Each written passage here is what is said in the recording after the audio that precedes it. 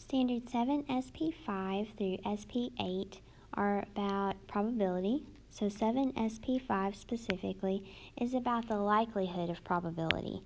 And these are all going to be numbers, by the way, that are between 0 and 1. Where 0 means it's impossible to happen, 1 means it will happen. Number 7, Stacy uses a spinner with 6 equal sections numbered 6, 2, 3, 4, 5, and 6 to play a game. Select all true statements. The first says the probability of landing on an odd numbered section is 33.3 repeating percent.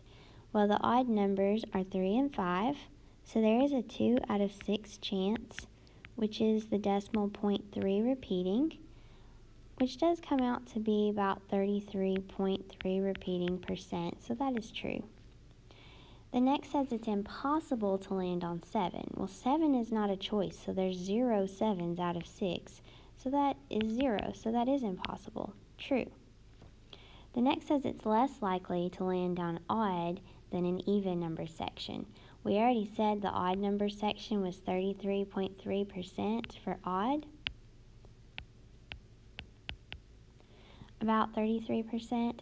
The even numbered section would be 4 out of 6, which is 0.6 repeating, which is about 67%. So this is true. The fourth choice says it's certain that it'll land on a number less than 6, but 6 is a choice, so that's false. The next one says it's fair. Well, 6 occurs twice, or two times, while the others only occur once, so it's not fair. And then the last choice, it is most likely to land on the number 6 since it occurs multiple times.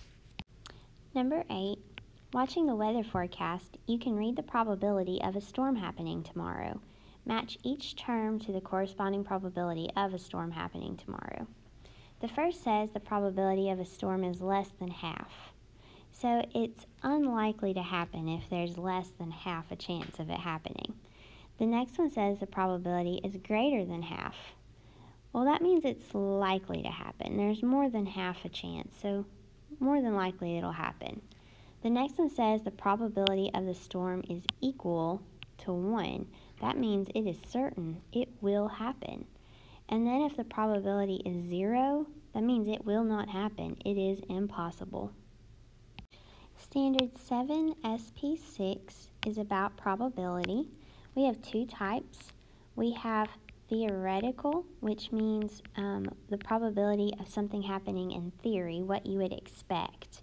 And then we have experimental. This is the probability of what actually happens in an experiment when you actually try um, to do an experiment and see what's going to happen. So we're going to look at problem number four. It says Sasha uses a spinner with six equal sections numbered 2, 3, 4, 5, 6, and 6 to play a game. Sasha spins the pointer 120 times and records the results okay? And it gives you all the results here, and it tells you a winning number, a winning spin is a 6. So find the theoretical probability and the experimental probability of winning, and then compare the two. So if they're all equal sections, let's start with the theoretical probability. A winning spin is a 6, and so we have 2 choices that are 6 out of 6 equal sections.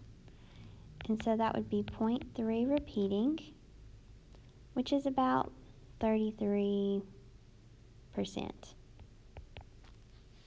So about 33% would be your theoretical probability, what you would expect in theory. Now we're going to find the experimental probability. So what actually happened there? Well, it landed on a 6 32 times out of 120 spins. So let's find that decimal. 32 divided by 120. is 0.26 repeating, which is about 27%.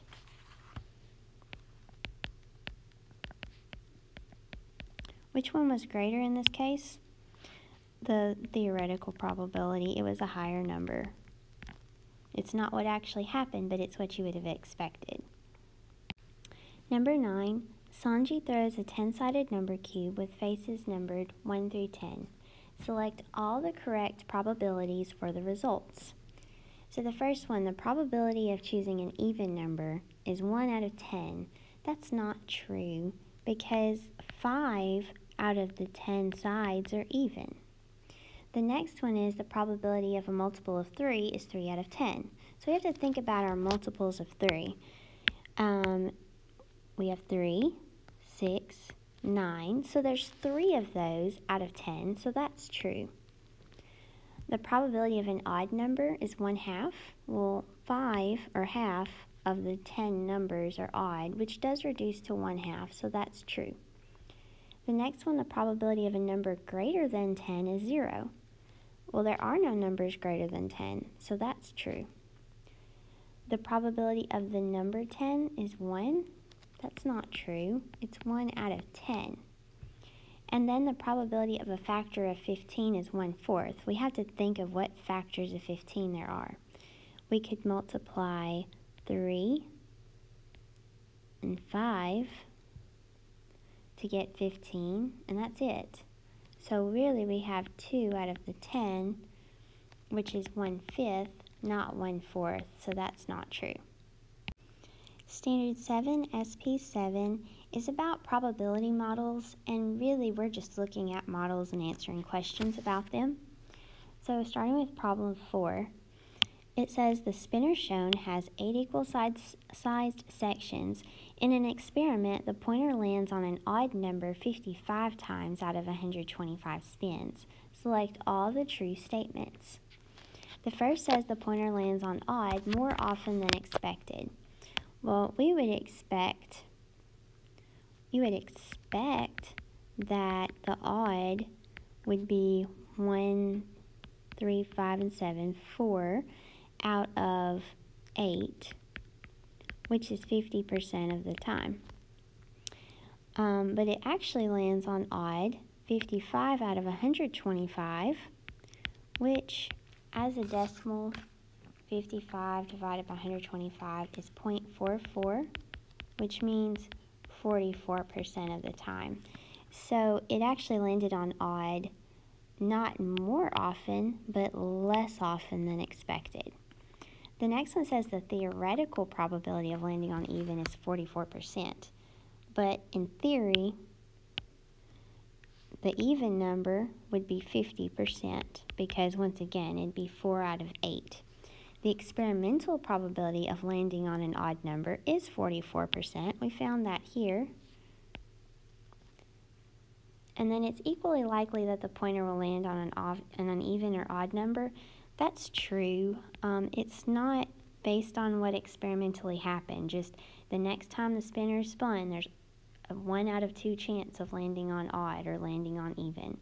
So they're equal chances. Number six, 280 students at Florida universities are randomly sampled and asked, on what day of the week were you born? The results are in the table. Assuming that each day has an equal theoretical probability, which day of the week has the most unusual observed frequency in the sample? Well, we know there's 280 students and there are seven days in the week. So on average, you would expect there would be 40 students each day, but we do know it's going to vary in reality. Um, the one that's furthest to the most unusual would be Friday because it's so far away. The expected amount 40 minus 22 is 18. It's so far away from uh, what's expected. So that's answer choice D. Standard 7 SP8 is broke down into three little mini standards A, B, and C, and we're going to just focus on A and B. And these are um, dealing with combinations. So let's look at problem 3. It says Joanna flips a coin and then she spins a spinner with four equal sections. What's the probability that the coin flips heads and the spinner lands on either red or purple? Okay, so let's start with um, flipping a coin and getting heads. The probability of flipping a coin and landing heads is one half. That's for landing on heads. Now let's look at um, the probability of the spinner landing red or purple out of four sections. Well, that's um, red or purple. That's two out of the four. And we just multiply those probabilities. So we get 1 times 2 is 2, 2 times 4 is 8, which is 1 fourth. And we're going to go to the nearest percent, which is 0.25 as a decimal, which is 25%. Number 9, make a tree diagram that shows the sample space of spinning a fair spinner labeled 1 through 5 and flipping a fair coin. Then using the tree diagram, what's the probability of spinning the number 3 and the coin landing heads up? So I'm going to start with my tree diagram. I've got um, a spinner labeled 1 through 5. So I'm going to do 5 branches. I could do it on its side or I could do this up and down, either one. I'm going to go on its side and say, okay, one, two, three, four, and five. And then we have a coin. So it's going to have a choice between heads or tails every time, heads or tails.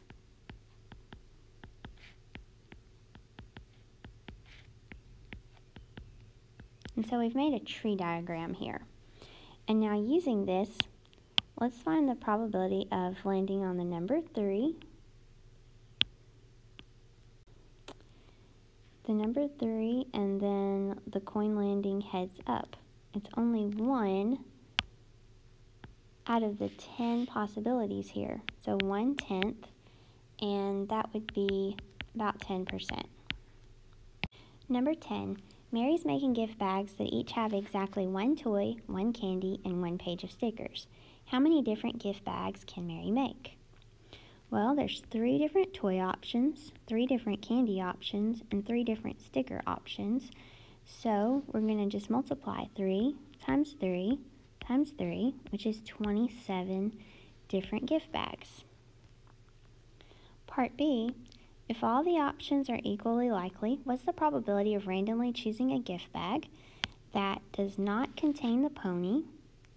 Okay, well, she, would, she could choose from two out of the three toys has a sucker or a gumball, that would be two out of the three candies, and has heart stickers, that's one out of the three stickers. So we'll multiply. 2 thirds times 2 thirds times 1 third is 4 over 27. And that comes out to 0.148 as a decimal. We'll move our decimal two places right, and it rounds to about 15%.